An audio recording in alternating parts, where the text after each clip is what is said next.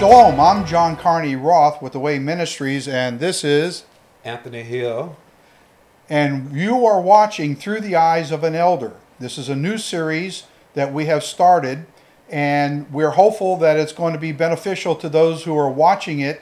And as elders in the body of Messiah of Yahshua HaMashiach, we, uh, we've spent many years, haven't we, Anthony? Yes. looking at different kinds of problems that we've been associated with in different places that we've been at. And we've experienced a lot of things over the years, and we've learned through the ups and downs of these various experiences. And uh, but before we get into that, what I want to do is uh, I want to kind of start off by saying that I want to thank my brother Anthony because it really was his idea to start this project. I wasn't thinking about this at all. I was thinking about doing something else. But when he approached me on this, I was very convicted immediately as to the fact that this is something we definitely need to do. And I've been trying to get you behind the camera for quite some time anyway. And so here we are, our first broadcast on this uh, this project. And so when he approached me on this, uh, right away, Yahweh gave me a vision for the title, which you see here on the screen, Through the Eyes of an Elder. It's a unique vision. It's a vision by those who've been around for a long time and have experienced a lot of things in the body of Messiah. And um, as you get older, you do tend to gain some wisdom out of what you experience. And so he gave me this idea, and so I put this together. But he did something else. He also said to me that there's an example in Scripture, which I did a message on a couple years ago. It was um, something about the hearts. I forgot the name of it right now, but it's it's up on YouTube. You can watch it. Um, and he will turn the hearts. That's what it was. And I'm going to take a little excerpt from that, a couple of scriptures to illustrate the point.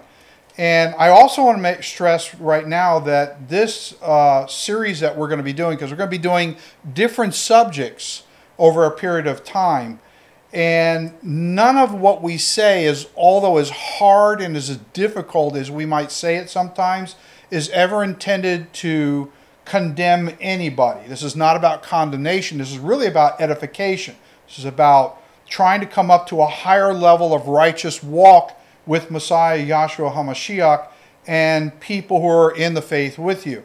And so, what I want to do is I want to be able to take a part of that teaching, and this is the inspiration that I had for this series. And so, this is going to start off in Ezra chapter 3, verses 10 through 13 and I don't know how many of you have seen this, but it caught my eye, which was the genesis of that teaching that I had done several years ago. And what is let me lay a foundation, I guess is what I should do. So what happened is the, the Jews had come back to Jerusalem from being um, exiled, and when they came back, it was approaching the uh, Yom Teruah, the feast of Yom Teruah, and they wanted to lay the foundation for the second temple. And so what was happening is all the people were out on the streets and they were celebrating and playing music, their instruments, and shouting for joy. And so that's kind of where we're breaking in here. And then I'll expound on that as we kind of go along here. So in verse 10 it says, When the builders laid the foundation of the temple of Yahweh, the priests stood in their apparel and with trumpets, and the Levites, the sons of Asaph, with cymbals to praise Yahweh according to the ordinance of the king of David of Israel in verse 11 it says, And they sang responsively, praising and giving thanks to Yahweh, for he is good, for he is, his mercy endures forever towards Israel. Then all the people shouted with a great shout as a battle cry when they praised Yahweh, because the foundation of the house of Yahweh was laid. But many of the priests and the Levites and heads of the fathers' houses of old, and this is what I want you out there to pay attention to, who are elders who had seen the first temple. They saw the first temple. These other people that were celebrating didn't see that first temple. Mm. So they had nothing in which to compare. Okay? What we're trying to do is we're trying to bring out things that you can compare to when we go through these discussions. And we're just going to kind of put our hearts out there to see what can be given to you through our experience. And unfortunately, in this story here, the youth in the faith over here in Israel did not consult with their elders. And the story didn't end very well, but we're not going to go down that far. We're just going to touch on this here. Who had seen the first temple wept with bemoaning complaints, with a loud battle cry, alarming voice, when the foundation of this temple was laid before their eyes, yet many shouted for joy. Verse 13, so that the people could not discern the noise of the shout of joy from the noise of the weeping that was overflowing of the people, for the people shouted with a loud shout to the point of splitting the ears, and the sound was heard afar off. So you have two groups that are shouting for joy. And let me get this other scripture up here, verse 13, okay? And so what happened is you've got these two groups that are shouting for joy, or one of them shouting for joy, and the other one is complaining. Mm-hmm. And if you if you've been an elder, and I, you are, we've been around for many years, you'll know what I'm talking about. You watch what the youth and the faith do, mm-hmm. and you see the folly and the foolishness of it, and it grieves you in your heart because you know where that road is, where that person is going and you know that where they're going is going to be a whole lot of heartache. And they don't want to consult with you and they don't want to know anything that you want to say that could spare them the trouble. And that, that's really the reason why I felt Yahweh said, grab this set of scriptures because this illustrates exactly the, the problem that we deal with when dealing with people who don't want to hear the wisdom of elders who see things from a perspective that they already went down that road and they didn't have you don't have to experience all that. But human nature being what it is people are going to have to experience what they're going to have to experience anyway. So it kind of um, concludes in haggai. It says who is left among you who saw this temple in its former glory? And how do you see it now? In comparison with it is it not in your eyes as nothing? See the bottom line is these elders they saw the first temple. They saw the Shekinah glory coming out of this first temple. And they knew the miracles that had happened with Solomon's temple. And they knew before this thing was even built, Yahweh had put into their hearts that this second temple was going to, in no way, shape, or form, going to be anything like that first temple. They knew ahead of time. So Yahweh imparts wisdom and understanding to elders that he doesn't do with the youth of the faith.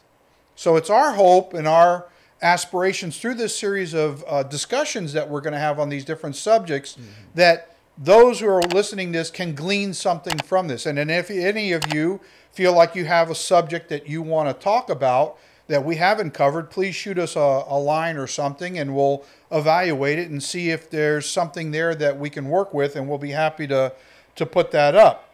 So that pretty much covers my inspiration part of what I got out of what you had imparted to me about what you wanted to do with starting this project. And so now I'm going to turn it over to you and let you go ahead and and run through what you feel that you want to speak on on your inspiration of what caused you to to pitch this to me in the first place. Yes. Greetings and shalom in the name of our Messiah Yeshua HaMashiach. Um, I'm excited, brother. Uh, sort of like Moses when Yahweh first spoke to him, nervous but excited and willing to take the mantle, not understanding where it was going and how it's going to manifest itself. I'm willing to take the mantle. So I like to thank Yahweh for you and for you um, presenting it and giving you the wisdom to lay this platform out so we can pour our hearts out to his people. And many years ago, um, I was in trouble and I went to prison and, and, I was moved to this cell and I was in a cell by myself and I had a dream. And the book of Jonah opened. And it went to the part where I I was in the belly of the great fish. And it wasn't really. It's like he had me seeing what he had Jonah entrapped in. And I could see the pages of the Bible open, and it went to Jonah uh, chapter 2. And and I can read it so clearly in this dream, Jonah's prayer. And it was a prayer of repentance, which really and truly touched me then, you know, because in that dream, I was praying the prayer. And after the prayer was finished, the book closed, and the officers was knocking on the door to move me. And it took me to a place where I didn't want to go, a place to preach repentance, a place to uh, where I had to really receive the preaching of Jonah that was held back from me so many years from Hasatan. hmm. I, I, I would no no matter what trouble I would be in, I always had another way out besides repentance. And last year, John knows this, that um, I had a health issue. And I couldn't understand why this thing came upon me when I was I thought I was doing everything that Yahweh wanted me to do. And I would petition him just to speak to me and, and, and allow me to hear him. And in the process, he gave this this vision to me and I couldn't really see it. But the only person I knew to call was John. and just give John this idea on what he was giving me. And he he showed me that that vision I had 20 something years ago was applying now. You don't have a lot of time to do things for Yahweh. So you have to do it when you're called to do it. And I had been sitting idle for years. John just mentioned something. He's been trying to get me up here to speak for years. And I've been sitting idle and would not answer the call. And this last year, when I was afflicted, it shook me because it came out of nowhere and I thought that was my last day on this earth and that I felt this this feeling inside that I had left here incomplete. It was something that I needed to do and I didn't do it and I wanted more time to do it. And so I don't hesitate now to sit here humbly, humbly to share my journey and my teachings from beginning to now. And so I, I just want to thank John for this opportunity uh, to gain and to glean some of the wisdom and experience that he has and to mentor me and help me sit here today and maybe with the spirit of Yahweh we can reach and touch people's heart in a manner that would lead them to the place that we both came from, a place of true repentance. And I'll just turn it back over to John and let him um, continue to open up the message for you guys. Okay, well, I'm honored, and uh, it took a while, but you did respond, and I thank Yahweh for that. Praise Yahweh. It took a, quite an event to make that happen, but yes. hopefully we don't have no more of those Yes. that was a little scary. Oh yes. But uh, praise Yahweh, He pulled you out of it, and uh, there's no sign anything was ever even wrong, Yes. even though it looked like in the natural there was. Yes. So uh, what we're going to do is today is the name of the um, or the subject matter is laying down the foundation of friendship manifested through love. Laying down the foundation of friendship manifested in love, and um, I'm like. Wow, I didn't think you were going to come to me with that one. But the one of the first things that, that came to my mind when you did was uh, one of the last series that I had done, which is the whole epistle of John. And I remember I had said in there that, wow, by the time I got through, I think chapter four or so, something like that. I don't remember what it was. I said, week after week, I had no idea how I'm going to speak on another aspect of love. Yeah. Because that whole series is about love. And I didn't know there were so many different ways to talk about love. So it was very surprising to me. That came back to me when uh, you had proposed this to me. So I had asked you, you know, to pick some scriptures that you wanted to uh, bring out, and then you're going to elaborate on them, and I'll kind of chime in where I feel led by the Ruach to do that. And uh, what we're going to do is tap off some of our uh, experiences. You've been in the faith for at least 23 years. Yes. So you've been around the mountain several times. I've been in, this is my 39th year. So we've seen a lot together, Yes, you know, yes. and separately. So what we're going to do is we're going to start off in John chapter 15, and we'll go through verse 12 through 15. And when I read the scriptures that you gave to me for, for this section here, um, what hit me was the archetypical model. The archetypical model. In other words, what's in these texts for me is there's no greater example of the highest level or standard of righteousness that one can attain to than what's contained in the, these verses that you're going to be talking about. yes. So um, you can you can either read. Uh, we got a monitor here. You, I don't know if you can see that. You can either read from there, or I can read, uh, whichever you want to do. Uh, what, what do you feel comfortable with? Uh, you can read it for me, but um, can I um, add something in here really yeah, quick? go ahead. Yeah. uh, the the the vision he gave me or the voice that I heard was a subject about true repentance.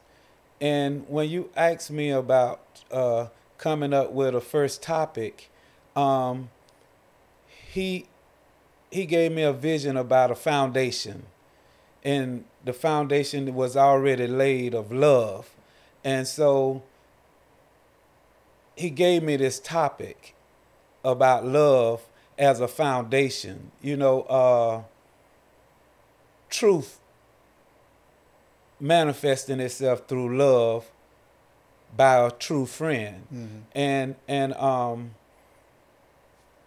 you put it in into writing. My words, what I was trying to say, and he gave you the wisdom. That's what I like so much about sharing with you because you got this discernment on how to, in this gift that you have, how to lay something out that somebody like me can't really lay it out. And so this was basically like a foundation. I just want people to know that all that we're talking about is truly coming from a place where the love of Yahweh has been poured in our hearts. And it's not a, a, a, a condemn, condemnable format, mm-hmm. But it's one that really, really, and prayerfully,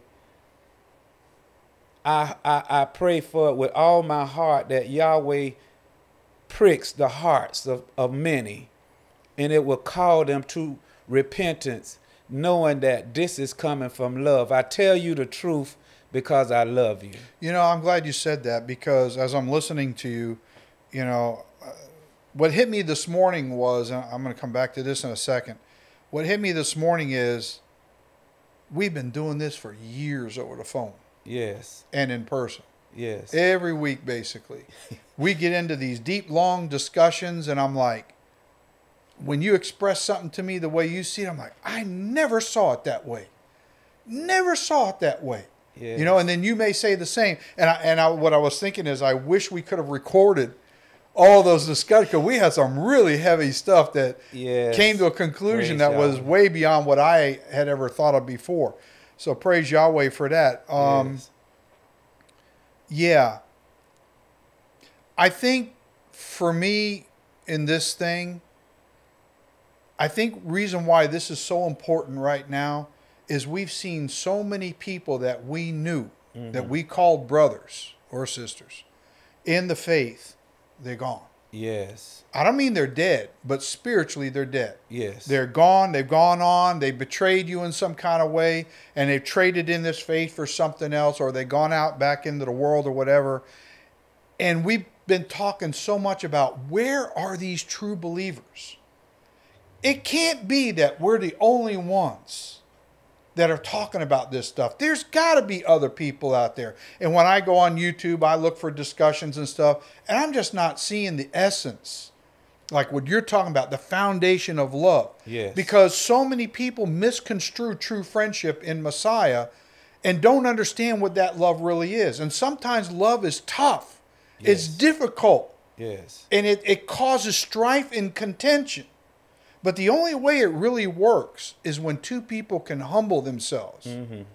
But when one is trying to be humble and correct another person, and they don't want to be humble about it, and they want to come back and fuss and fight against you, that creates a lot of problems. And there's no love there when that happens. Yes. And so we're seeing more and more of this division within the body of Messiah. Mm-hmm. And it's for a lot of different reasons, but all the more reason why the foundation of love has to be that foundation for everything you do. Mm-hmm. Even if the other person doesn't want to see it as love and they want to call you a scoundrel, a liar, a deceiver from the devil, they you know how they Yes. they call us all kind of stuff, you know. But as we go through some of these scriptures today, you're going to see sometimes you got to take some real tough positions with people and you got to be willing to risk losing the friendship.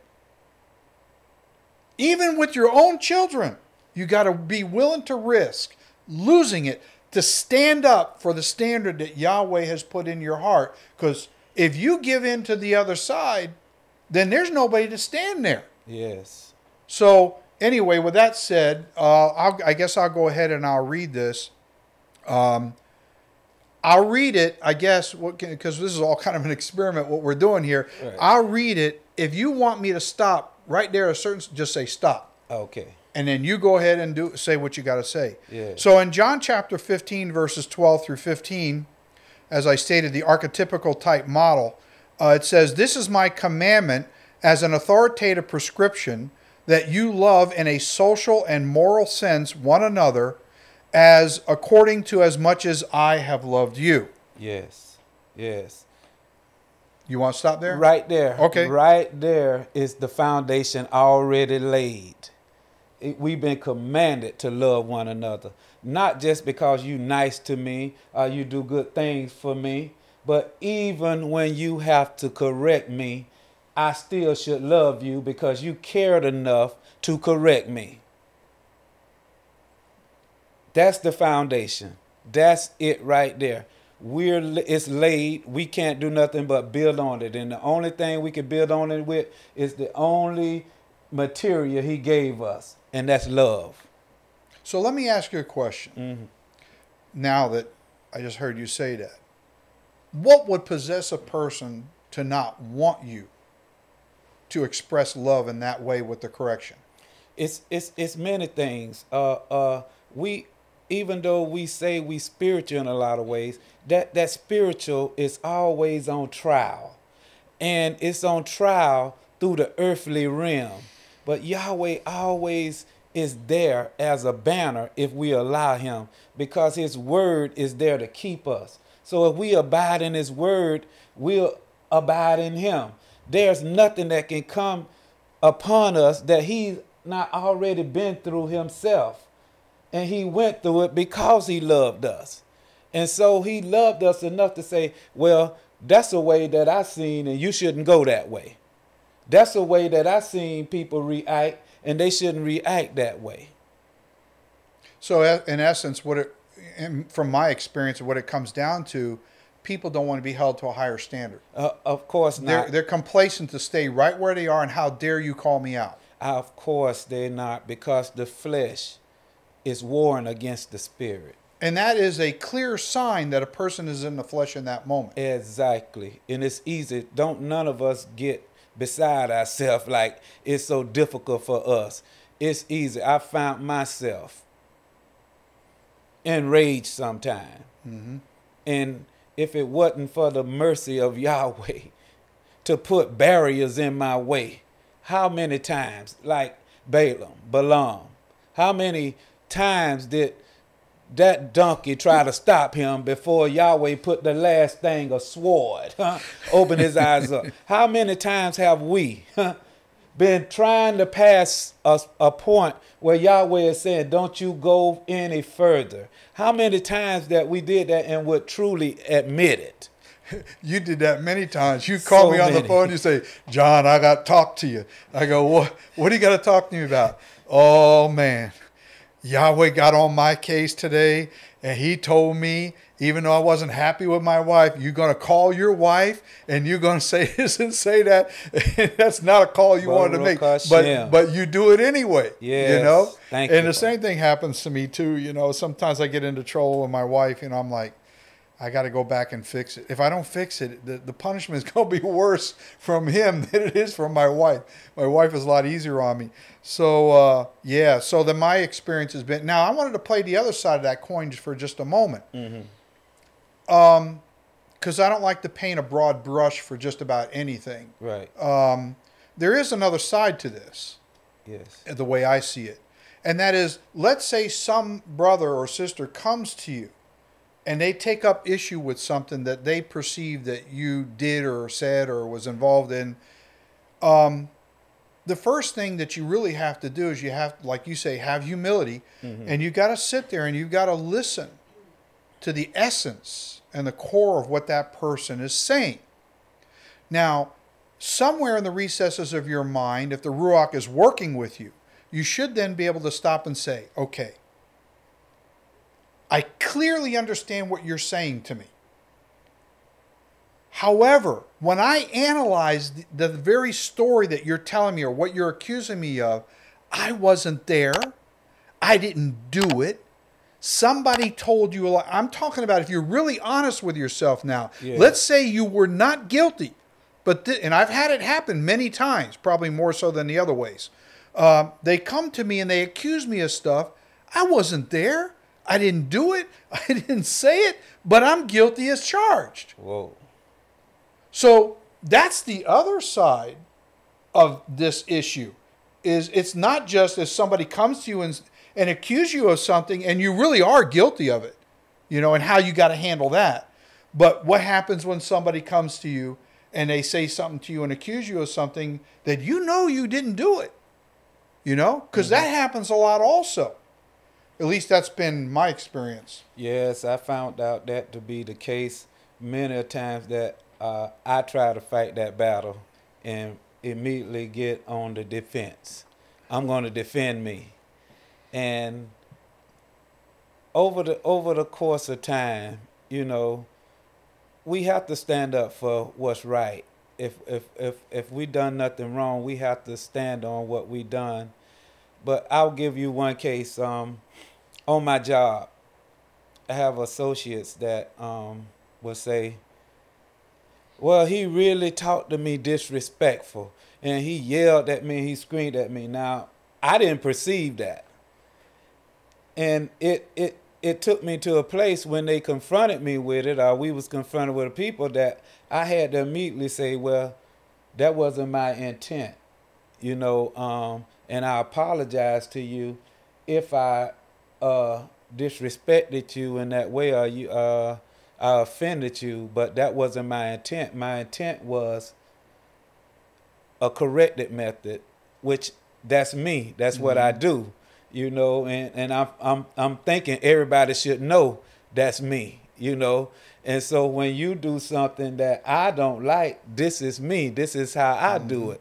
And I say, but uh, I'm gonna consider the things that you don't like would you please consider the things that I don't like? It's only fair. and to accuse me of something that I didn't do without coming to me first and asking me you and telling me, say, man, you really you really offended me before you take it to somewhere else. Come to me and I can I can be the one to straighten it and let you know that wasn't my intent. That was the message. I'm sorry you received it that way. So they're busy busy listening to the volume and not the message. Yep, and I fall into the trap Yeah. sometimes myself. You know, that's why I say, uh, don't none of us get above ourselves. Don't think that Hasatan is not so clever. The Bible tells us he's diabolically clever, and so don't think that we're always ahead and in control because the moment we do, that's when we get a little crack for him to creep in. And then, like we just got out of the feast on a little leaven, Yeah. it puffs up the whole lump. and before we know it, it spread it. yeah, it happens quick, doesn't it? Yes. I've seen it blow up like a wildfire real quick. Anything else on this Oh, particular no- verse? no, All right, we'll go on to the next one. So in verse 13 it says, "Greater love has no one than this, than to lay down one's life for his friends, who is dear and affectionately fond of." Yes. Uh, I, I know I know for me, I don't know if anybody can identify with me. We got friends out there that before we come to them with what we have learned, we'll brush it off because we don't want to we in our natural mind we think we're going to kill a friendship if we because they're going to perceive we're trying to change them hmm. no i'm trying to enlighten you of something that i experienced that i know you in that way and what i got can lead you out of that way the information that i just went and studied and learned through an experience experience talking about people in the world. people in the world Yeah, yeah, yeah. Okay. friends in the world Yeah. you know and if you really think about it i want to go to the world first many of us who call ourselves friends in the faith we have the same type of characteristics as the friends in the world with one another because we can't we're afraid to come and correct somebody and say well uh, i'm always told if you don't have anything good to say, then don't say nothing at all. Well, when you're telling somebody something that they're doing wrong ain't going to be good no time. Because who wants to hear that they're wrong? Who truly wants to hear it? Sweep it under the rug and let's continue our relationship. Is the is the um norm. Do you find that um, this is a a paradox that I find? I feel a little bad about it sometimes. I've got friends out in the world that I've known for many years. You know, before I came into faith, or even after I came into faith, they're out in the world. They're nice people. They're pretty good people. They're respectable, but they don't have any interest really in what I believe. And the the accusations I get, which is it's totally true, I'll be honest about it, is I don't see you no more. I don't hear from you. We don't spend time together like we used to, you know? And it's hard for me to um to talk to them about that in a way other than I'm very busy. You know, Mhm. I, I run a business, which that in itself is is consumes a lot of my time. But then when I, my private time, I need to spend time with my wife and my grandkids and my kids or whatever. But um, the other half of my life, in a way, is ministry. So it's like, you know, it's hard to find a balance. How are you going to see all these people and go out rubbing shoulders with them when they don't really have an interest in your faith, but they're drawn to be around you for some reason? I still don't know why, who, why they want to be around me, but but they'll tell me. Uh-huh. You know, we miss, we don't see you anymore, blah blah blah. You know, and it's like I, sometimes it's really hard to to tell them. In essence, it's given the impression that you're not worth my time. And I don't really want it to be said that way because it's not that way. It's just that I have so many other things in my life I'm busy with. I have to prioritize.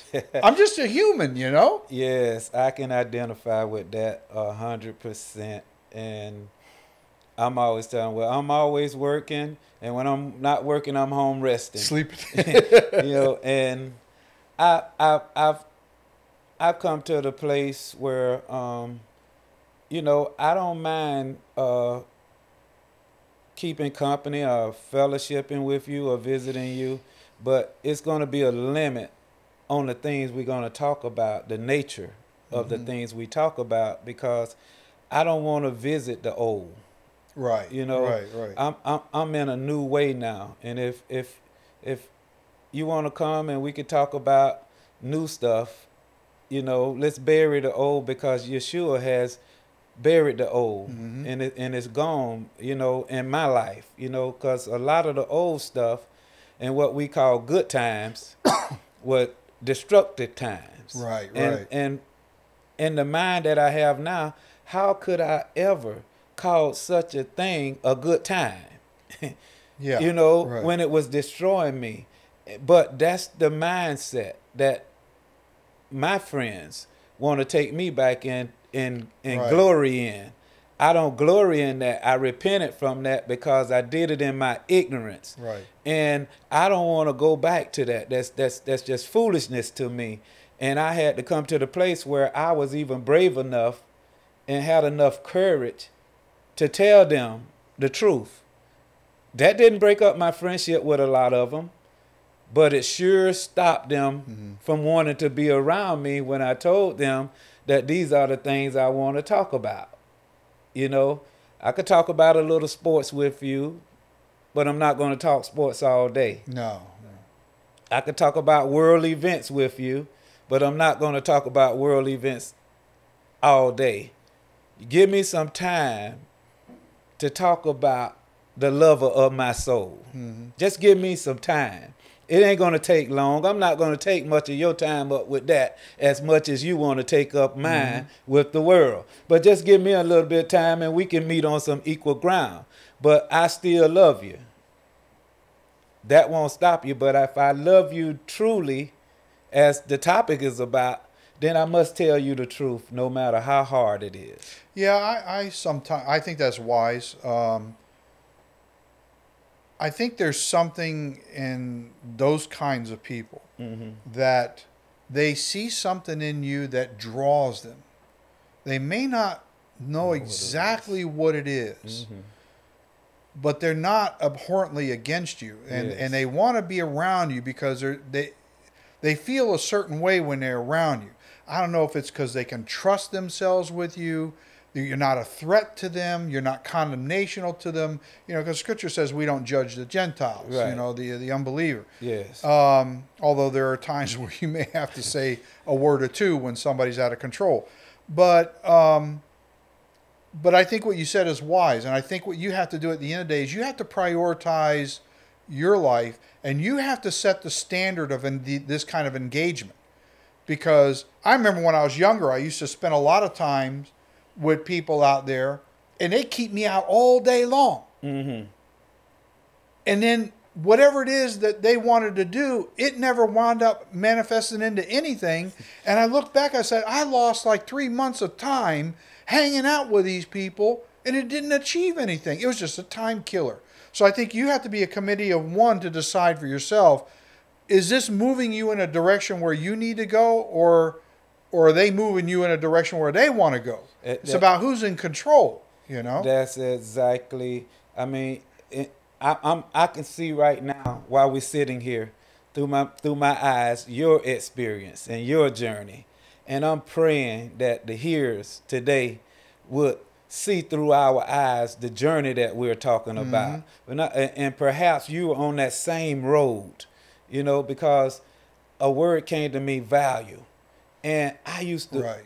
as illegal of life and destructive life I used to live, if somebody I perceived was living a better life, I would be honored to be in their presence because it, it gave me some kind of sense of value or worth just to be around them so people Right. wouldn't see me as a bad person.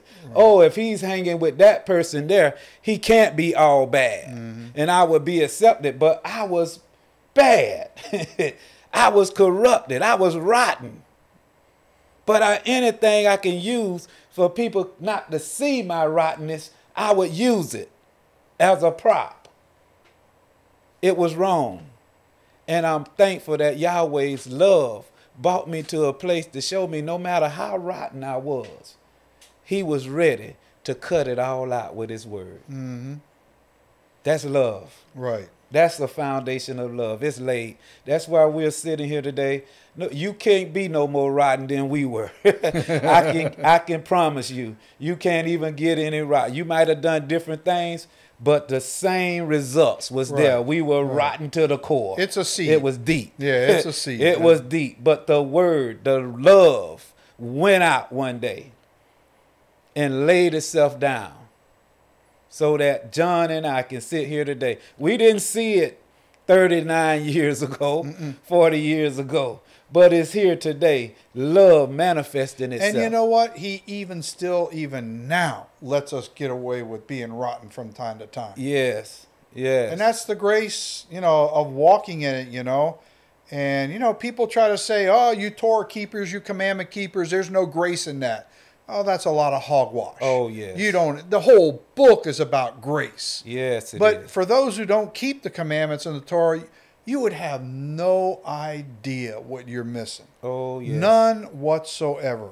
You don't understand. We got people I see out there, Christians, that try to talk about what real love is and all that stuff. You ain't got no clue. You got no clue. Yes. Uh, it's really sad um, when people who haven't experienced something think that they have the un- the experience and they really don't. Uh, let's move on Mm-hmm. Yes. to cha- uh, verse 14. It says, uh, You are my friends Mm-hmm. if you do whatever I command by actively enjoining himself to it through you. Stop it. Repent. That's what a true friend is.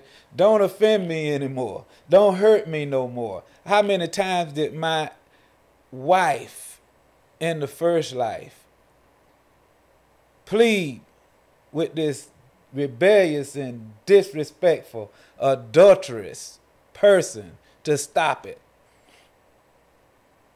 Only somebody that cared about you would ask you to stop hurting them and he could not hear it. He just couldn't hear it. We got many in the faith today. Same way. Why do you deal so treacherous with your wife? Right. Why do you deal so harshly with your husband? Why do we do it? And you know what? Your wife or your husband, whichever the case, may Mm-hmm. be, really should be your best friend Exactly. of anybody else because people come and go through like a department store of your life in and out the front door and the back door, you know? Mm-hmm. But when it comes to your mate, that should be the one. And yet, that is the one that's interesting you bring it up that I find over and over again when it comes to men, Mm-hmm. they don't get it. They just don't get it. Um, it took me a long time to understand that in order for Yahweh to prosper you in all areas of your life, is you better not be beaten up on your wife. Yes. I don't mean physically. I mean verbally, mm-hmm. emotionally, and every which other way. Mm-hmm. Okay, mm-hmm. he will not do it. I mean, you brought up Malachi. That's what he says in there. Yes. You've dealt treacherously with the wife of your youth. Oh, yes.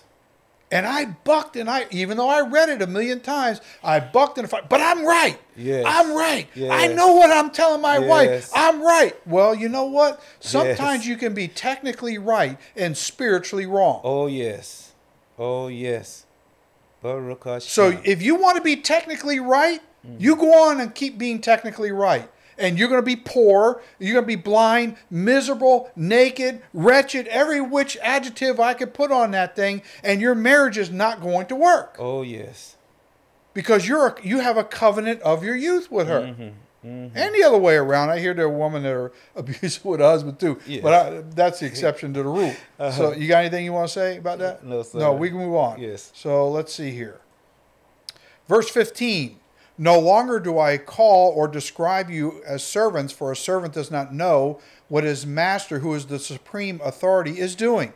But I have called you friends, who is dear and actively fond of, for all the things I've heard from my Father, I have made known to you. Listen, I'm telling you, he's moving people from glory to glory.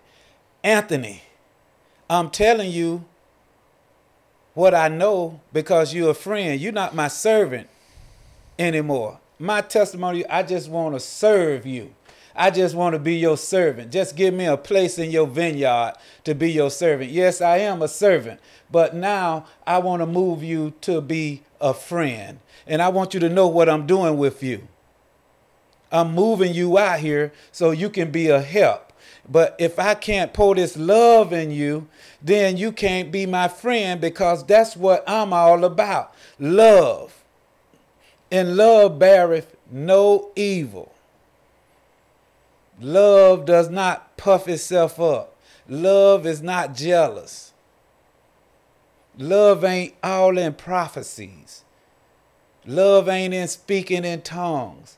But love is laying your life down. Right now, we we put our lives aside to sit here and pour out some love. We could easily be just sitting around in here Mm-hmm. praising Yahweh like we the greatest thing on earth. Yeah. But we had to put ourselves aside mm-hmm. to pick up this this this this mantle and build on something that's already been laid. We're, we it's nothing new that we're doing. Only a friend can get this kind of information. You know, it's interesting. Um, actually, if you read, I think it's, mm, I'm going to say John 14, 15, 16. Mm-hmm. If you read all three chapters, some amazing stuff in there when you look at the wording very carefully. Yes. And what you discover in there is that you can't get to the Father until you become a friend of Yahshua. Yes. Yes. And there's this misnomer in the body of Messiah that as soon as you accept Yahshua as the Messiah, you have a relationship with the Father. yes. Oh no. Oh no, you don't. You can't get to the Father unless you get approval by the Son first. Oh yes. It, it's some heavy words in there. If you really look at it from that perspective, this is what John was trying to get across. Mhm. Mhm. It takes time for the Messiah to trust that you're now his friend and not his servant. Praise. And when you go from being a servant to a friend, now he introduces you to the Father. Yes. Yes. Everything in the kingdom of Yahweh is about protocol. Mm-hmm. And you got to know what that protocol is. Now, I'm not saying if you pray to the Father, he don't hear you. I'm not saying that. Mm-hmm. I'm talking about a deep friendship relationship with the Father where you hear him speaking to you and directing things in your life. Mm-hmm. Through his son, Yes. because that's the protocol. He doesn't cut his son out of the picture, but he gets involved. yes, he does. And it takes years to get to that understanding and that kind of a relationship. Mm-hmm. Mm-hmm. So anyway, I don't want to go any more into that because that's a really deep subject. Anything Yes, else you is. want to shed on this one? sir. All right, let's move on. So uh, you also chose Proverbs chapter 18, verse 24. It says, "A man who has friends must himself be friendly." You- but you- there, yeah, go ahead. Go ahead.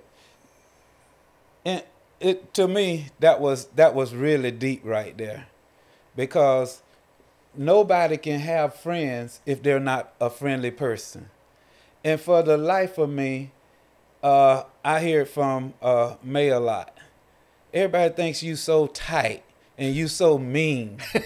she say, but they don't really know you. No, they don't. That's Like what my I wife says you. too. yeah, and, and, and I'm want to put on this face where I'm approachable and I'm kind, you know.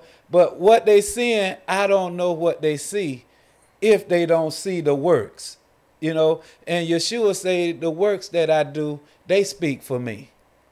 So what is it that I'm doing that's making a person perceive that I'm not friendly? Even a con artist has a smile on his face and he's approachable. Exactly. and so so years ago, uh when I was in the world, I had friends and they would introduce me to other friends. Oh, if you're a friend of his, then you could be my friend. Only to be kidnapped. Hmm. Only to be held hostage with guns to your head. By the ones that you say was your friend, and they never gave you evidence that they were your friend. I'm saying this because I believe truly that this is evidence. This is the foundation that we're we're presenting today of love to say that it's it's it's love speaking through truth. That's our friendship. That's the only friendship we have to offer if we tell you the truth. If you stone me for telling you the truth, then stone me. Right. But I have to do it because I love you. I have to do it because the one that did it for me loved me and he got stoned. He got crucified. But his word, his witness is still here today. It, it, no matter how much you would crucify a body, the word prevails. The word prevails. Show yourself friendly. and you got a friend. But if you don't show yourself friendly, how can you have a friend? Look at the works. Just look at the works. That's all I'm asking. Look at the works and and watch the works, the consistency of the works. I I, I talked to John, uh, uh, like he said, we talk on the phone a lot. I say, John, you can see the love that you have for Yahweh because so many have gone. Hmm. Huh? Yeah. And no matter what you say, you don't want to deal with people and you don't want nothing to do with nobody and you're tired of yet you continue to pick it up and keep going and keep listening and keep fighting. That's love. That's the word prevailing over whatever the flesh don't like. The word prevails over because the spirit is winning. That's friendship. That's a true friend. He have shown himself friendly to me. And I always told him, don't ever pity pat me. If you have to tell me whether I like it or not, tell it to me. But do not pity pat and pat me on the back because that, that won't be helping me. You know what? Um, now that you said that, um, the one thing I can say over the years that we've been tied together in this thing, um, you're one of the very few, if only, people that I've known that I don't have to do that. Because I know your walk and I've seen how Yahweh has endorsed you over the years as my friend and my brother. And it is so refreshing to not have to correct somebody Yes. you know um, and so you're you're that rare person. I'm not trying to puff you up. I know you say you don't try to puff me up here. I know where you come from when you say it, but um, there's no words to describe when you don't have to correct a brother or a sister. Because they're walking as clean as they can. So if i do see you do something or say something i'll say to myself in that moment that, that it can't be the way it looks because I know him.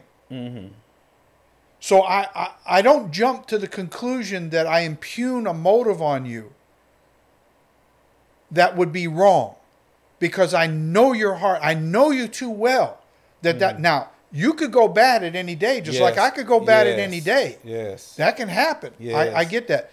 And we might get off track sometimes for a little bit. Mm-hmm.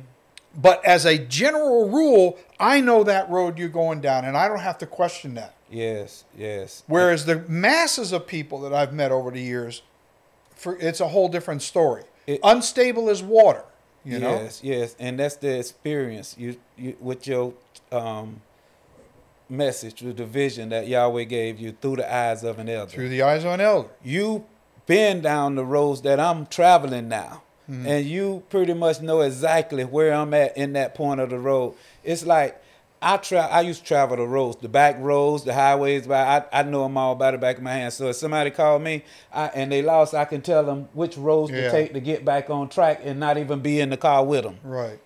Today they got GPSs to rely on, but back then I didn't have G. I so I had to learn the back roads because I trying to stay out of the main highways where uh, eyes would see the enf- law enforcements maybe out there and and so forth and so on. So I had to learn alternative routes. Right. But in Yeshua, there's no alternative route. It's only one way you can go if you want to get to to the kingdom Right. and that's through Yeshua HaMashiach. And so, as he began to narrow my path, not getting off track, he put me on the path that he already had people walking on. Are you, are you with me? Mm-hmm. And and so I know I I don't know it, but it's uh, he's put John here, right? And I could get on the phone and I can call John, and John, I might not tell him a lot of times.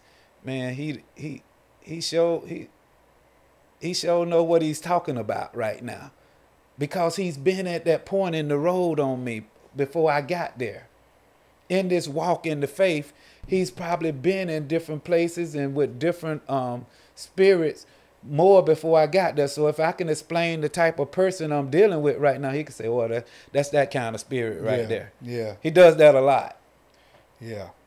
All right. So it, the rest of it says uh, that you have affection for uh, who sticks closer by adhering and cleaving than a brother. That's what friends, true friends, do. Right.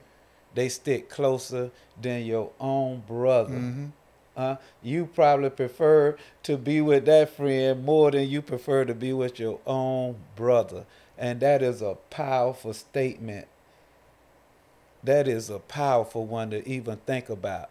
Uh, why would I rather be with a friend more than a brother? You know, I I I I stayed at people who I consider friends' houses more than I stayed at my own house. Why would I um I got a wife and family home. Why would I want to be in the streets all night and not go home to my wife and kids? Why would I consider them more friends who was so much against me? And not have the friends who want to stick with me and of my own blood. Yeah, you know, um, I, I've had this philosophy. Uh, it's been like, well, it hasn't always been with me, but when I was uh, much younger, I, I started to learn it. Um, my philosophy is you're either a leader or a follower. Yes. I guess I If you're a leader, you're the one who sets the path hmm and how things have to be. hmm Okay, I've got a, a an outside friend, a nice guy, and he's always doing stuff that I don't mean illegal. It just he does things in a way that it don't work, hmm and I always have to constantly protect him from himself. You know, well, wh- why why like that? Why like that? And I said because if I follow your lead, we're both going to go into the ditch. Yes. And I've been in so many ditches in my life, I'm sick and tired of it. You're a lot younger than I am. I don't want to go down that road. I'm tired of being in the ditches. So then I said, if you want to do this, you're going to do it my way because I can see you don't know what you're doing. hmm And I, I don't have time to waste. I got too many other things to do. So then when I wind up doing it the way that I got to do it and it comes out the way that it does, he goes, uh, I have to talk to your wife because your wife needs to know how smart you are. You're such a smart guy. Because I always get bail him out of trouble all the time, Uh-huh, which, uh-huh. which that's why he likes to hang around me because I look out for his best interests, unlike a lot of people that he probably deals with. But anyway, um, anything else on this Yeah, um, I don't know about you, uh, but for me, that wasn't easy for me to do with the, the friends that I had out there. To no, but that's them- a sign of Yeah, bondage. Uh-huh. It means you're enslaved to them. They're leading you by the neck with a nose ring or whatever, and they're pulling you where they want you to go. Yep, and I and I and I'm and I and I had to come into that knowledge that I was being separated. Right. You know, uh, because I was following people so that I can be accepted by them.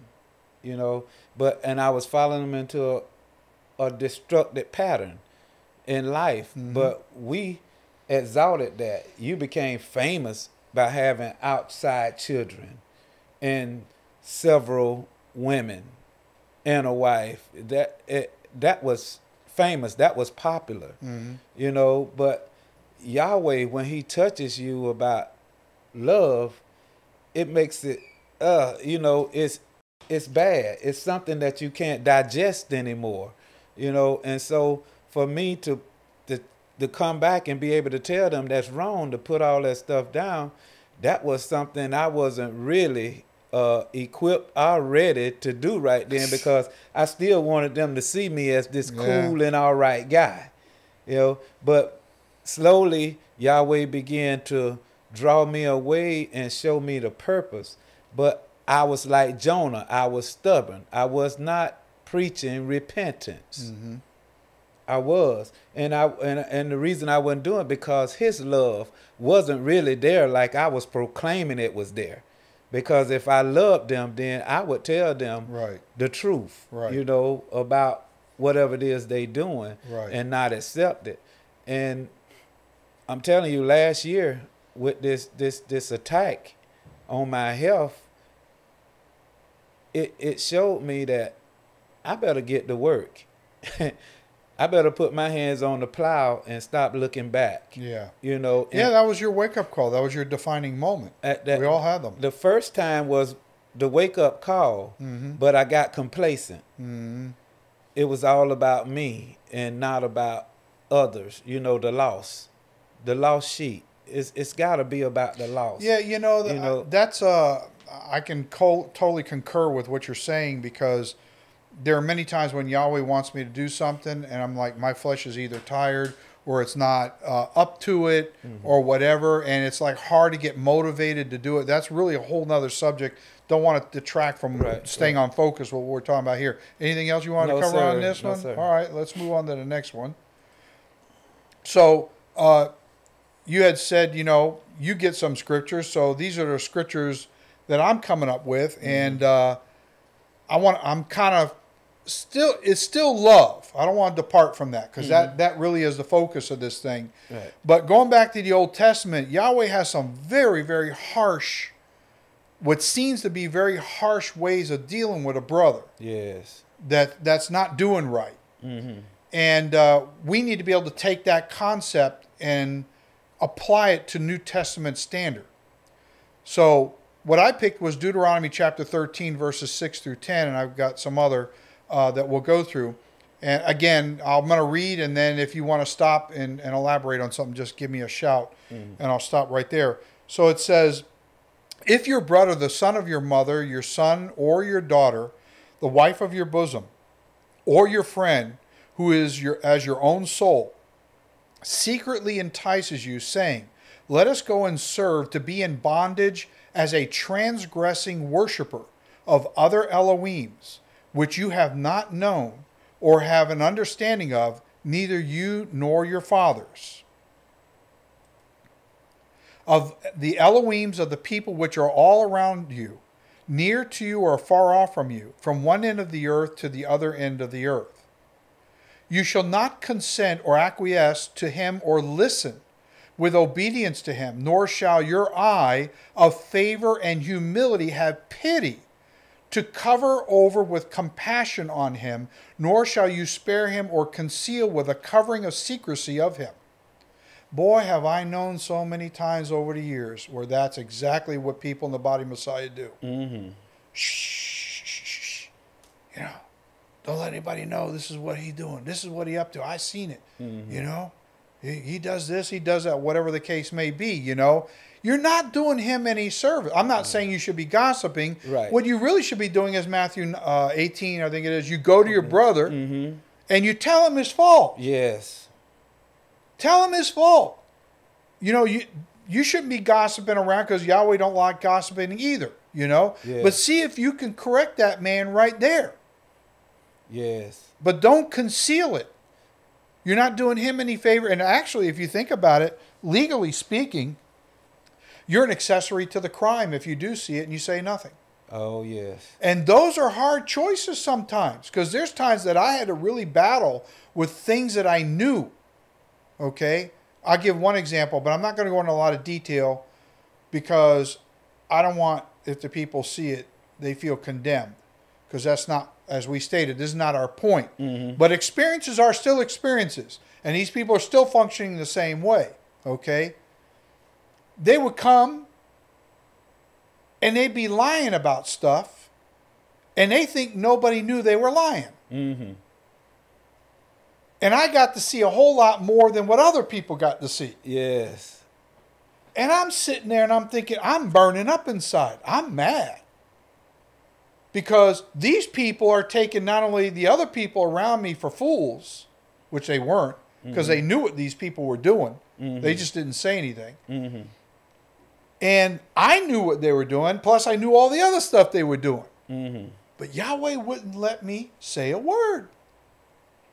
And I'm puzzled because we know what the scripture says. If you got a fault with your brother, you go to your brother. But there are times when Yahweh holds your tongue for some unknown reason Mm-hmm. to your friends. Mm-hmm. And it's a battle because in your mind, in your conscience, you, you feel like you should say something, but he's saying you stay quiet.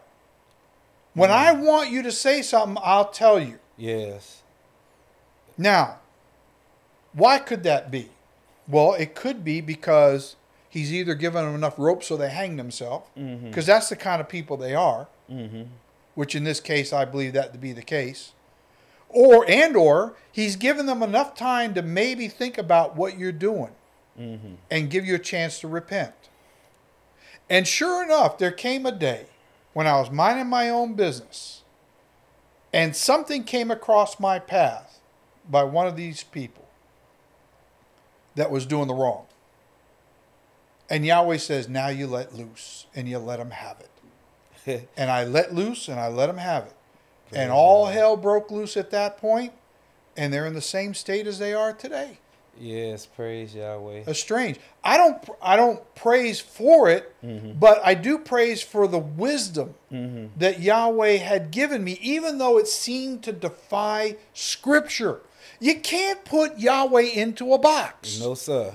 You can't measure him out. He's immeasurable. He ha- his wisdom and his thoughts are far beyond our wisdom and thoughts. Oh, yes. His ways are greater than our ways. yes. Don't think that you can you can second guess exactly every single situation in relationships exactly how you're supposed to do it. Yes, yes. I I'm a witness. I'm I'm right in that mold. I I come from that mold that had to be broke. You know, I'm I'm thankful that he he broke it and gave me another chance to be here. You know, he didn't have to do that, but I was one that needed that rope to hang itself. You Mm. know, and he did it. And I'm telling you, he did it. He he hung me, but he did not let me die. Right. And Yeah. for you it was the best thing that could have happened for you. Yes, yes. And it always is. The problem is whether or not those people embrace it or not. exactly. But their pride doesn't let them embrace it. Exactly. Uh, part of my testimony I give in the prison is that, um, you know, I don't, I don't claim to be any better than anybody that I walk with in that life, and a lot of them gone. It, I would just happen to be doing something else. I could have went to make that meet, and with them, and both of us would have been mm. taken out of the world Right. at that time. I could have been the one that got in that car to go meet, and both of us would have been gone that day. I could have been the one that went to the hotel room to pick up the money, and life could have been gone uh, that day. Uh, it was just His mercy was so heavy upon me. I tell him that all the time when I visit. And I say, I look back at the ones that I call friends, and I say, how did I consider them friends? yeah, right. You know, what was Right. it that I saw mm-hmm. that I would say I trust somebody who ate at the same table with me and my family, and that same person would come in there and hold my family hostage? What was it that I saw that made me think that they were friends that I could trust? What was the works when all I saw Or what was, inside evil of them works? that you didn't see? Right. Evil Yeah, works yeah, that we done. That all of us done. And yet it was in my mind I can trust them. Mm-hmm. It's it's amazing how his mercy you know, when I read the scripture, he have mercy on who he wants. I, I it, it, it makes me tremble sometimes. You know, Mm-hmm. and all I can do is say, Thank you, Yahweh, for your mercy. You know, it becomes so important to be able to be, have the gift of discerning of spirits. hmm And um, I had a, an event recently, well, maybe a little over a year back, about a year and a half ago, where I'm not going to get into specifics, but somebody was a friend of somebody else came to me and asked me if they could borrow money. hmm And they came and we sat and we talked for a little bit. I knew the person. I wouldn't say they were a friend, they were more of an acquaintance hmm but they were really good friends with somebody that that I'm close to, and the whole conversation was fine for about 45 minutes or so. We are talking, and finally the conversation kind of came to a close, and I went and I handed the person money, and he said, "I'll get you the money back the next month," you know. I said, if you can do it, that's fine. If not, you can take a little time to do that. But the interesting thing is, as soon as I said that, Mm-hmm. there was a complete state change on that person. Uh, And I looked into his eyes, and, I, and in that moment, I said, I'm in trouble.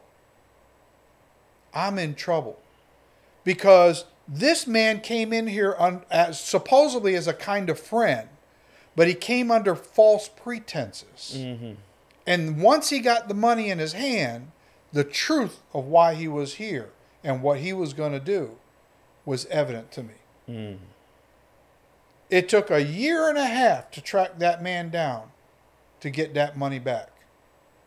And I won't go into the whole story about it. There's a whole lot more to it than that. But the bottom line is, he has since shown himself to the other person that was a longtime friend of his that he's a fraud and he's a shyster. Mm-hmm. Now, why couldn't have Yahweh shown me that up front about a so-called friend, so to speak? Okay. And I think because there's a lesson involved. And Yahweh always had my back anyway on it. I don't ever really worry about that. And what it did do was exposing him because I reamed him out for about 20 minutes. I demanded that he tell me what possessed him to do what he did, and he refused to do that. Hmm. So I sent after 20 minutes, I sent him on my way because I wanted to waste my time with him no more. But what it did do is this other person that I'm close to got to see this person for what they were and how I handled the situation. See, the bottom line is sometimes Yahweh allows certain things to happen for reasons that are beyond you because it's a witness to somebody else. Mm-hmm. But you can't plot that in advance. You can't orchestrate those things. No. But that's why you got to be in tune to the ruach, so that when the ruach is leading you, you get it, you get to know where it, eventually it's going to go and what lesson you're going to get out of that. So, the point of all these discussions is that there's a lot of different dynamics and a lot of different ways these things plays out, and I'm trying to pull in different things from different angles um, to show just how diverse some of these things are and how they can be handled at times. So anyway, that's why I brought that up. Anything else you want to bring into this one? No, sir. Okay. Uh, verse 9. But you shall surely kill. You shall surely kill with deadly intent for destruction of him. Your hand shall be first against him to put him to death, and afterward the hand of all the people. Now, how does that translate in your mind to a New Testament dispensation? Uh, uh, I don't. I, I. I really can't. Um. I know for a fact. I put it like this. My minister in South Carolina would say it mean whenever he see cut them off or kill, it mean to Ah, do okay. exactly that. That's a way to look at it. But uh, in in this way, uh, I think Paul wrote to the, the church at Corinth that um, you turn such a one over to Satan for the destruction of the flesh. Right. You know, Right. um, um, you you you want to destroy a spirit. It's That's not right. the person. That's it's right. the spirit within the person. That's right. And you can only destroy it with what we call the sword, and that's the word. Mm-hmm. You know, it, it cuts, it destroys, it kills. You know, and if it don't, if it don't die, then there's nothing new that can be born in there. He had to kill the old person on the inside so that this person that sits here today can live. You know, and and it's probably many ways that we can look at it, but for me to uh, for me to process it, that's the simplest way that I can look at it. It's like you have to, in order for something new to live, something old has to pass Mhm. away. Uh, um, Paul wrote also in Corinth, old things are passed away, all things are new. It has to be. I was crucified with Mashiach. Nevertheless, I live. Yet not I, but Mashiach lives in me. Right. In the life that I live now in the flesh, I live according to Ben Yahweh, the Son of Mhm. Yahweh, hmm, Yeah. who gave himself for me. Yeah, you know, um, as I'm listening to you, I'm thinking of um, another kind of another aspect of this, which is what I get out of this because it says with deadly intent for the destruction. Mm-hmm. Okay, what that says to me is is that Yahweh's not raising a, up a bunch of wimps. Mm-mm. We're supposed to be kings and priests of a royal order, a Melchizedean priesthood is what we're supposed to be, Yes. which are kinsmen redeemers, which goes back to what you're saying. You redeem the person, but you destroy the evil spirit that holds them captive. Yes. Well, you know, what did Yahweh do with Israel? What Israel did was when he, for example, I think it was the Battle of Ai with King Og, Yes. um, they're to go in and wipe out everything. mm-hmm.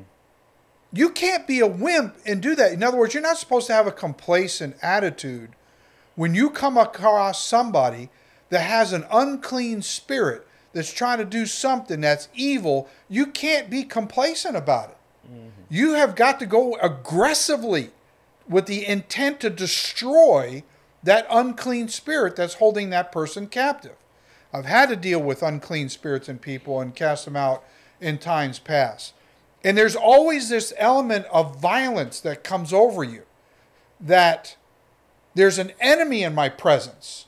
And either he's going to kill me or I'm going to kill it. And there ain't no way in hell it's going to kill me. It's got to go. Yes. You know, it's like the scripture says um, the kingdom Yahweh suffers violence, and those who are violent are pressing in and seizing it by force. You've got to seize it by force. You've got to have a destructive mentality against the kingdom of darkness when these things come into your presence. So let's go on. We got more stuff to cover. And you shall stone that is weighty with stones, a weighty stone of a reddish color for building. I found that to be um, interesting wording in the Hebrew. Until he dies, because he sought, listen to this, he sought with prayer to make an inquisition, to entice, to mislead, and drive you away from Yahweh your Elohim, who brought you out of the land of Egypt from the house of bondage. That's a lot of words right there. Mm-hmm. This person premeditatedly knew exactly what they were going to do. Mm-hmm. And it was all about getting to you and getting you out from where you are to where they want to take you. And there are people around you right now who do not have your best interest in mind. And you know that you need to be getting yourself away from them and you need to tell them to take a hike. And they're not doing you good, they're doing you evil. And if you don't wake up to it, it's finally going to get its way with you. Your time will run out, Mm-hmm. and Yahweh will pull the plug on it. Mm-hmm. Yes. I I hope this is appropriate what I'm gonna say. Uh, it's been pressing on me, uh, but when you said it like that, there's people that's trying to persuade you to do something that you know you know not right, and it's happening in the body, and people can read the scriptures just like you read them, and you have people proclaiming if it's in the book, I believe it. All I do is preach Bull. the book. Bull. You know, We say a lot if- of stuff like you- that, and we don't. If you don't know the book, No. uh, you don't know the writer of the book, how can you know that that person knows who is the writer? You have to get this relationship with Yeshua, Right. and he'll tell you all about the Father, what the Father likes and and don't like. And I was listening to the radio the other day. I mean, it, it was comical to me because I talk back to the radio, but that's the only that's that's the only thing I really have because they are opening up and reading. So Yeah. I say I'd rather have some, and they they are very positive people, well-meaning people. Sure. You know, and and I'm not condemning them, but I just want to show how easy it is to fall for a lie. And I think the the the, the person got to the place where he was talking about Yeshua was um, seen by 500 or more people Mhm. as a witness. Mhm. And he say there's he say you might can get five or six people to lie, but there's no way you can get 500 people to sell the same lie. And I started laughing. And I'm like, wow, that sounds good, don't it? I say, but we just came out of a season. Uh, Huh? This resurrection thing that they preach. Huh? yeah. Right. I- I guarantee you, it's more than 500 people believe, believe that, that. but it's not. It's not the truth. That's not the truth. How can you get from what they call Friday evening to before Sunday get there? Three days and three nights. How can you get it? You can't. But it's more than 500 people believe that. I So- think I'm Einstein. like, I think Einstein said he had a mathematical equation for something like that. somebody, somebody need to have it because Nah, out of all yet. the accountants and mathematicians in this world and in that faith over there, somebody should be able to say, no, that don't add up. But my point was, when if you know him and somebody's trying to entice you into it, why you think we so separated? Because we know better. We heard the voice. you understand? Mm-hmm. Don't do this stuff. Don't go and worship something else that, that, that they, they ain't your friend, they ain't your brother. You stone them. You know, You uh, kill yeah. that doctrine. You kill it if you really want the truth. Right. It dies. Right. Yeah. Somebody asked me about that the other day, actually, and I said, listen, yeah, all of Yahweh's prophetic significant days are on feast days. The feast days are shadow pictures of these events that would happen. Okay.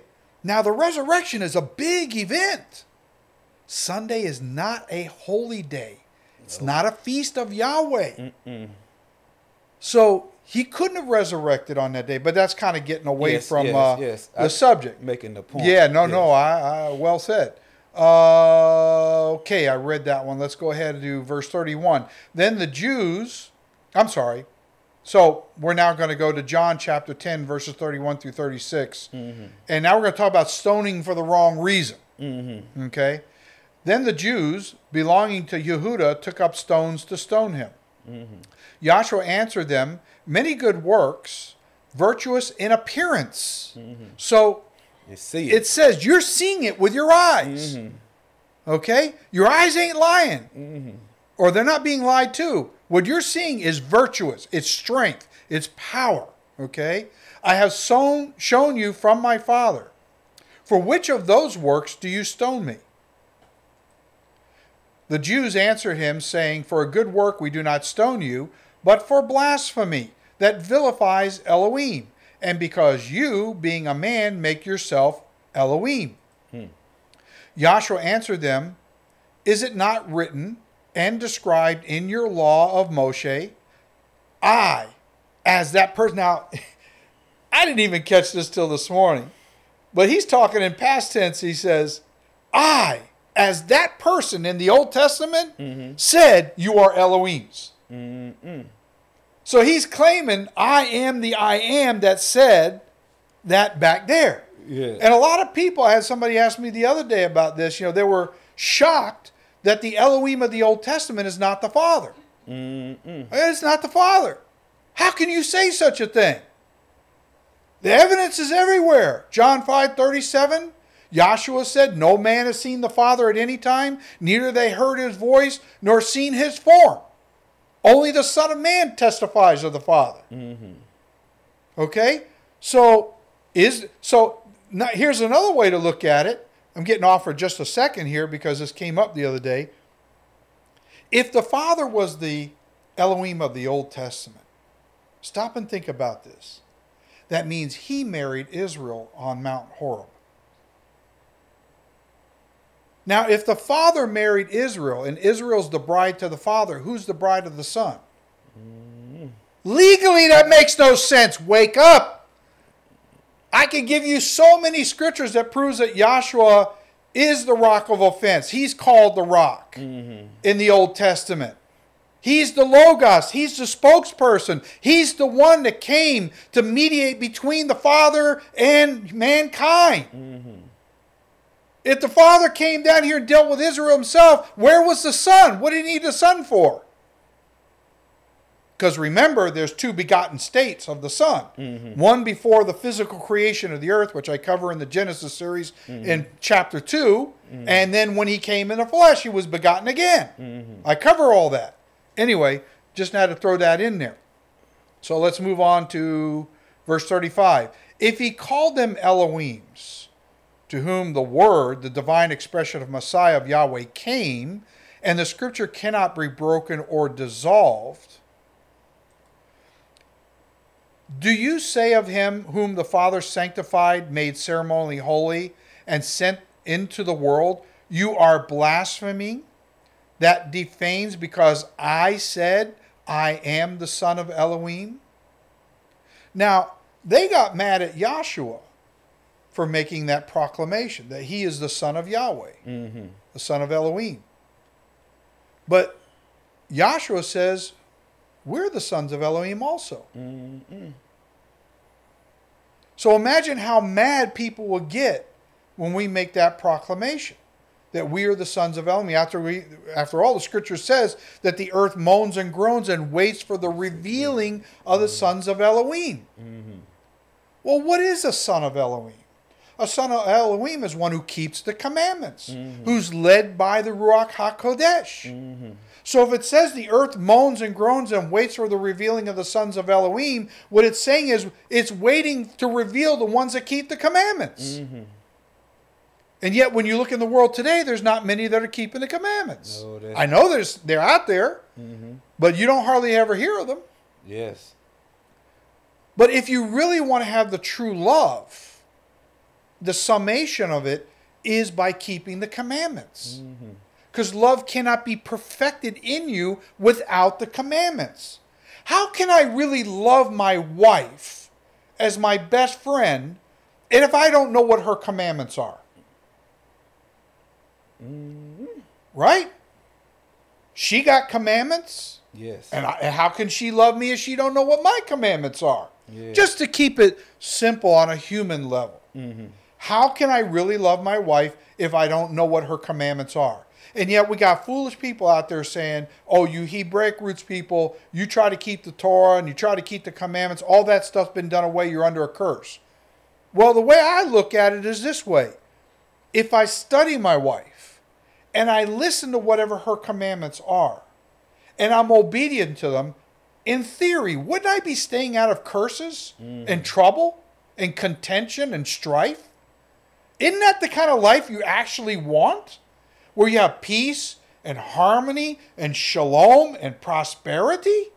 Why would you want to trade lawlessness for obedience? So it doesn't make any sense. If you want to understand love, Yahweh is showing you through the commandments what love is. Yes.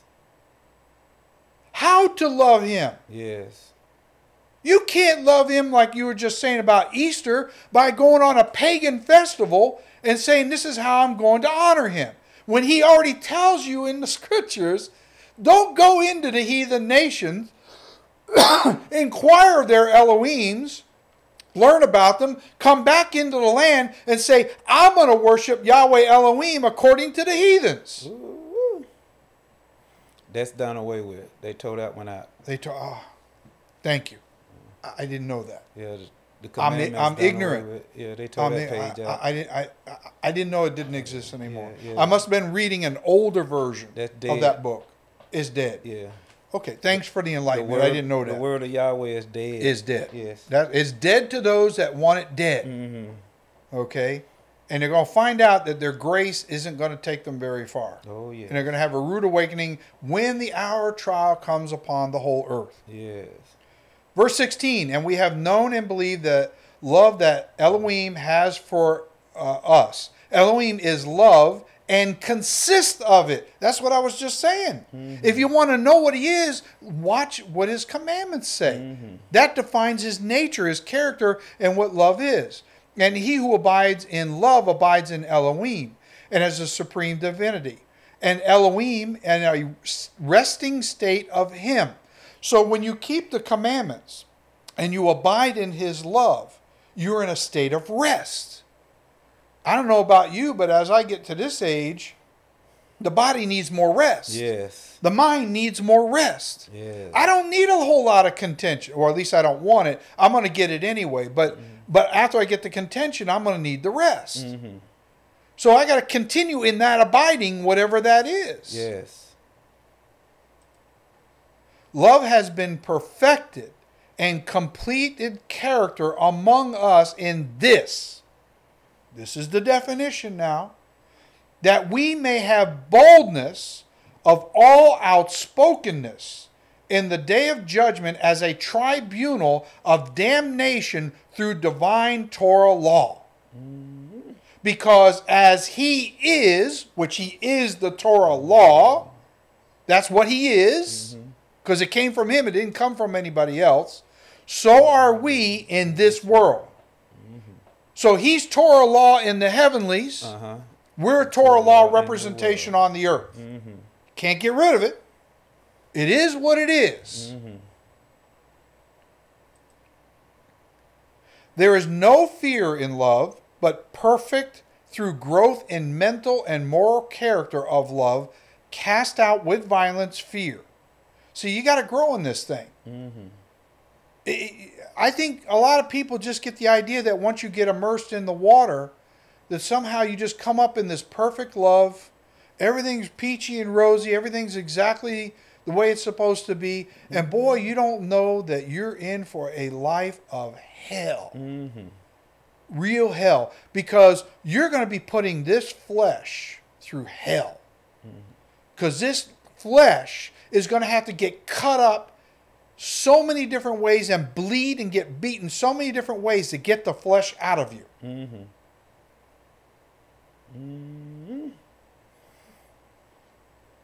Because fear involves torment that stems from punishment. So fear comes from punishment. So when you have fear, it means you're being punished. Mm-hmm. Because there's some aspect of love in your life that has not yet been perfected where the spirit of fear has wiggled its way inside of you. So the punishment now is the torment. And so if you've got torment, that's evidence mm-hmm. that fear or the lack of enough love has not been perfected yet. Mm-hmm. I can't say I'm there. No, sir. I can't say I'm there. I'm being honest. I can't say I'm there. I can say I've come a long way. yes. It's come a long way. It's like this this this virus we were talking early that's gone around all over there. Not mm-hmm. one time did Yahweh allow the spirit of fear to come to me. He says, "You mm-hmm. go on and you do what you got to do. I don't care how many bodies you see dying around you. It mm-hmm. ain't gonna touch you." Praise Yahweh. I could feel the spirit of fear yes. coming against me, trying to get inside and take me over and succumb to that spirit like everybody else is that was around me, but he didn't allow it. And I, I didn't allow it either. I had a say in the matter. Yes. But he who fears has not been made perfect in love. So I say this you can only love another person to a degree that you love yourself. Mm-hmm. So a lot of this also, we haven't really touched on it too much. a lot of it comes down to how do you see that you love yourself? How do you define that? You know? A- And, and maybe that's a whole nother discussion altogether, unless you got something you want to add to that. No, but that's a whole nother deep level altogether. Mm-hmm. You know? That is deep. And it and it ain't about indulging yourself with the luxuries of this world. I'm going to buy this. I'm going to buy that. I'm going to experience this. I'm going to experience. Uh, yeah, that's love, but it could also be lust. I don't. That's not what he's getting at. But that's Right. a kind of a whole nother story. But the whole point is, if you hate yourself, you're going to have a hard time loving other people, unless Yahweh steps in supernaturally, and He makes some kind of a provision that makes you to help another person anyway, even though you hate yourself. And I've seen that happen, you know. But that's that's kind of a whole nother discussion as well. So in verse 19 it says, "We love him because he first loved us." So mm. we can't do this on our own. This has mm-hmm. to be something that, that- like you said from the beginning, mm-hmm. he reached down to you in prison mm-hmm. and he lifted you out of that. Mm-hmm. Yes. Thank you, Father.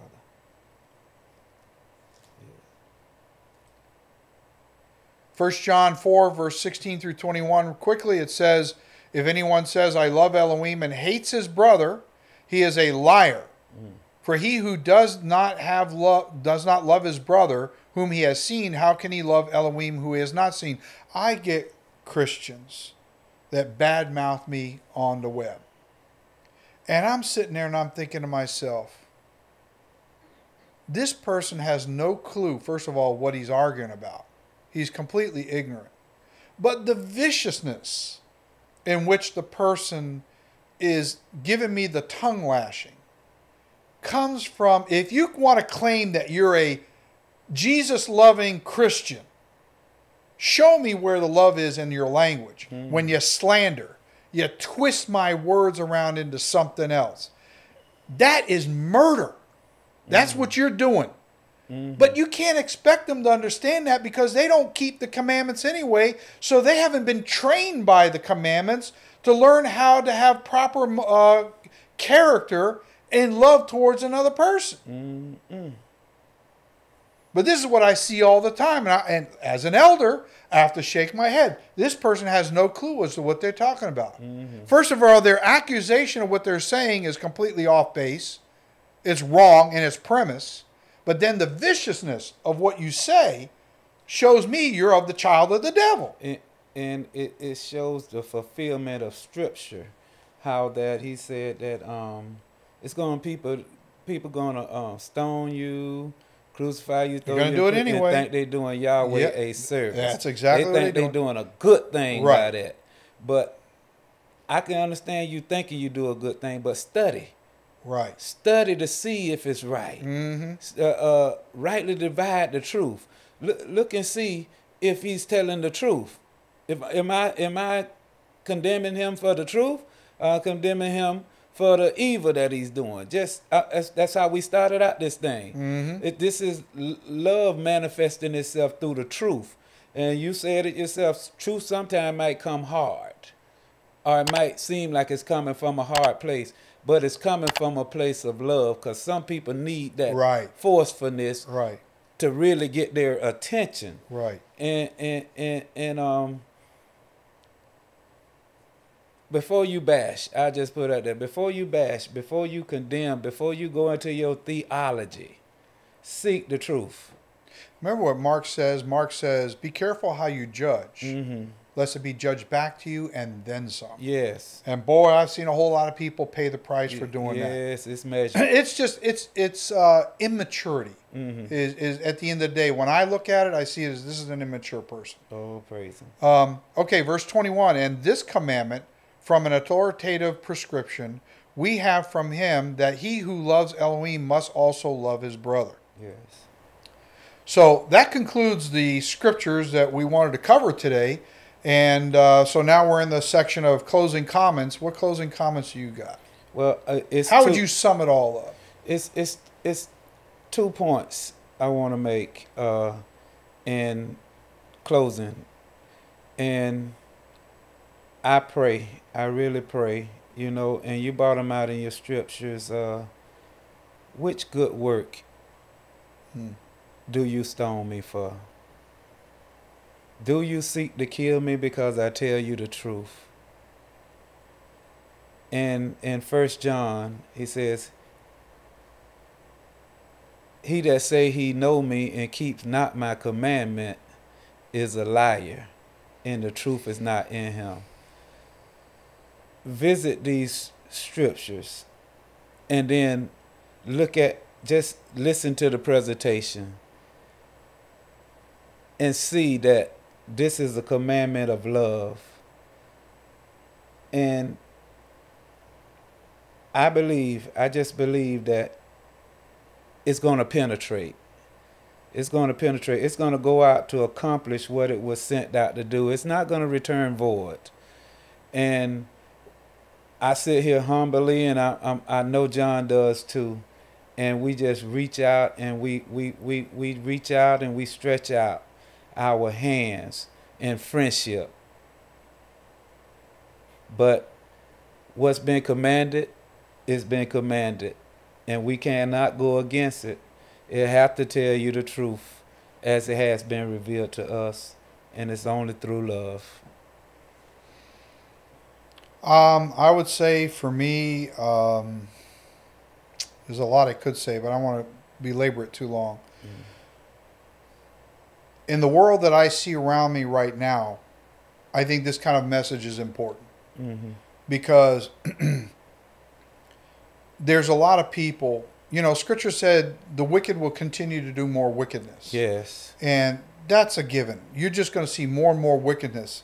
And unfortunately, the times that we're in right now, or fortunately, depending on what side of the fence you're on, um, you're going to see some people begin to change for the better, become more conscientious. You see a lot of good people out there going around. They're helping other people. They're feeding people who can't get food or they're shut up in their houses or whatever. And they're, they're helping nurses and doctors and the police and, and all. And that's a good thing. That's a good thing. So it shows that the heart of those people Mm-hmm. is good, you know. But you also see a lot of more wicked people that are doing things that are even more wicked than before. Like you're saying, you've seen uh, examples where they go into the grocery store and they start sneezing all over the food on purpose, and they got to wipe out all that food, those vegetables or fruits. They sneeze all over because they want everybody else to catch whatever they got.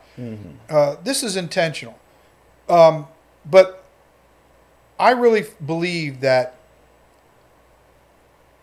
somewhere out there, there's more people that are being led in the same direction that we're being led in. Yes. And we've been talking for a long time. Where are these people? Mm-hmm. Where are they hanging out at? Because it's rare that I find one. But yet I know they're out there. Mm-hmm. And so I'm hoping, like you, that these discussions that we have, whatever subjects they may be, is a place for them to sit down in the comfort of their home and watch something like this Mm-hmm. and say, now, where have those guys been? Yeah. Because, like them, I've been looking for people and I haven't been able to find them. And here they are on my TV right now. Yes. You know? Yes. And I'm just not seeing this thing coming together yet. I know the scripture says it's got to come together. Mm-hmm. And so, like you, I believe that sowing this seed, at some point, this thing's going to take off and more and more people will be joining up. And like I said before, you know, if you have subjects that you want to talk about, you know, shoot us a line. We'll look at it. Yes. And whether we do it right away or later on, you know, we'll take a look at it. And um, with that being said, I want to belabor it too long. I, I just pray that this message has been a blessing to those who watch out there and that you share it around with other people. Yes. And if you liked it, give us a thumbs up. If you don't like it, give us a thumbs down. Or you can subscribe and keep a watch out so that when more of these things come out, you'll get alerted to the fact that a new one has come out. And um, that's pretty much all I got to say.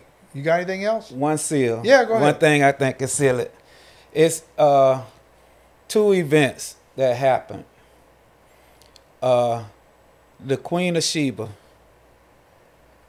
traveled miles to see Solomon's temple. And in the book of Matthew, it's in all three gospels, I believe. Uh, Yeshua says, "It's one here greater than Solomon." And I started out with my testimony about the book of Jonah. That's another testimony that um, the people of Nineveh will rise up in judgments against this generation. Right, right, right. Hmm? He said, but there's one here greater than Jonah because Nineveh repented. Right. What sign are you looking for? What sign are we looking for to say we need to repent? Yeah, what more do you need? What more? Yeah. One greater than Jonah, one greater than Solomon has already came and poured his love out and laid his life down. And this is the foundation that we're building on. But if you don't believe in his commandments, how will you believe in him? hmm So my prayer is that the word of truth be your seal, that no more deception enter in. Just we all stay focused on what's true, no matter how hard it is. We got to receive it. No matter how difficult the way may be, we got to hold on to it and embrace it. And I bless the name of Yahweh. And I give thanks to John, and I pray the blessings rest upon this house. The blessings of Yahweh continue to shower him and prosper him and his family and all that associated with him. I've been so blessed through him to right now, I'm just joyful. Joyful just to be sitting here.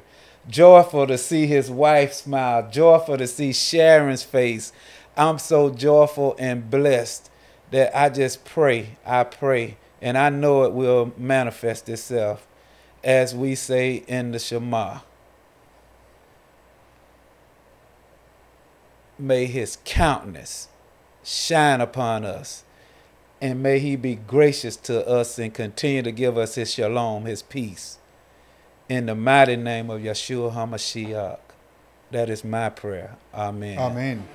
So, with that said, thank you for joining us in this time through the eyes of an elder, and we look forward to seeing you the next time. And shalom, peace in the name of Yahshua HaMashiach.